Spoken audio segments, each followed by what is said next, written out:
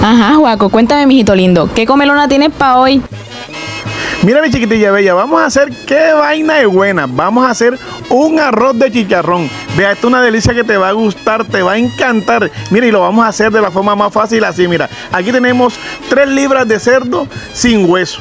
Ya, 3 libras de cerdo sin hueso de la parte que usted quiera. La vamos a llevar a cocinar con suficiente agua y 5 dientes de ajo bien machacados. A una temperatura media alta que se cocine durante 20 minutos.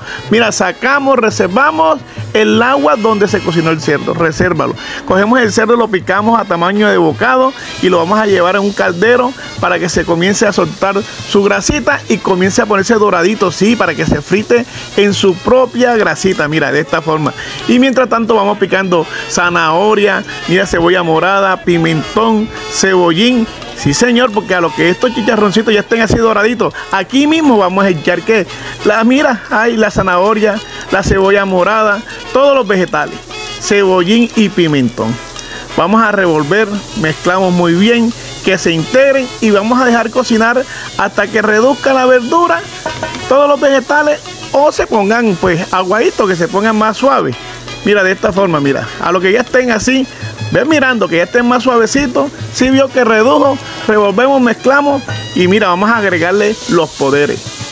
El agua donde se cocinó el cerdo. Sí, porque eso le va a dar un sabor más delicioso, más rico.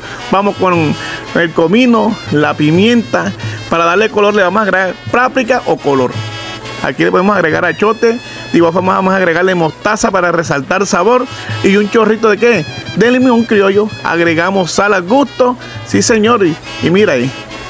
Un toque de cilantro. Para aumentar qué? El poder, para aumentar ese sabor. Dos cucharitas que de, de salsa negra. Revolvemos, mezclamos. Dejamos que se cocine muy bien hasta que comience a hervir.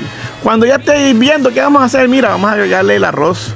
Agregamos el arroz esparcimos, revolvemos muy bien porque te voy a decir que esto es 1A. Este es un arroz excelente. Dejamos que seque el arroz. A lo que seque el arroz, bajamos la mecha, tapamos, dejamos la mecha bien bajitica, tapamos y vamos a dejarlo que se cocine durante 15, 20 minuticos. Y mira cómo quedó esta delicia. Vamos a servirlo. Míralo, ve cómo quedó. ¡Qué vaina buena! Un arroz de chicharrón. Te lo recomiendo para este domingo. Sí, para este domingo que nos vamos de final para compartir con toda la, familia y los amigos. Te lo recomiendo, una delicia. No, broma, Juaco, qué vaina de sabrosa. Esto quedó, fue bueno. Síguenos y comparte nuestros videos para más recetas.